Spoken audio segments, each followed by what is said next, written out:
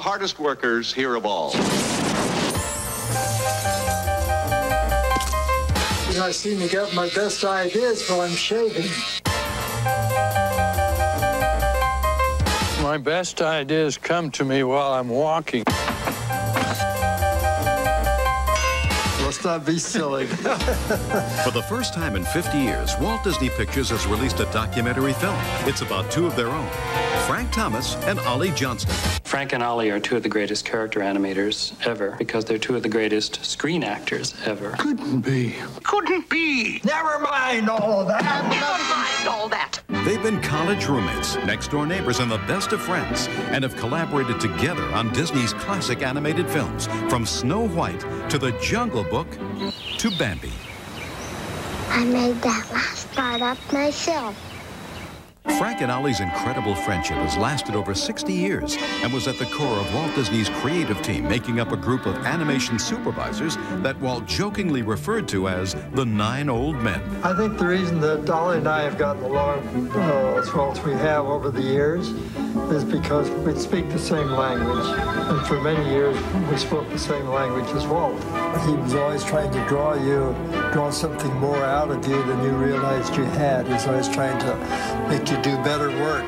And he's trying to, hoping that he could do better work. They brought personality animation beyond even where Walt thought it could go. All of us, Walt included, worked so hard trying to capture something rare, something new, something unique in the entertainment business. We will live happily ever after. Over the years, Frank and Ollie made an impression on everyone they met, especially Frank's son, Ted Thomas, whose passion drove him to write and direct the film Frank and Ollie. We didn't have a, an executive producer on the film, but we had something much uh, harder to deal with, and that was two perfectionists who had worked with one of the greatest perfectionists of the century.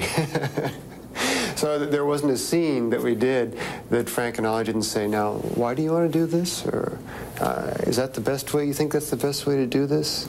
Well, uh, hmm, okay. I mean, every shot was like that. What are there, four and a half billion on the planet? I'd guess that half of them know some scene that Frank or Ollie did. Big stagehand turns to us and says, So you're the guys who killed Bambi's mother. Frank and Ollie is now playing in select theaters. For more information on the history of Disney animation, read The Illusion of Life by Frank Thomas and Ollie Johnston.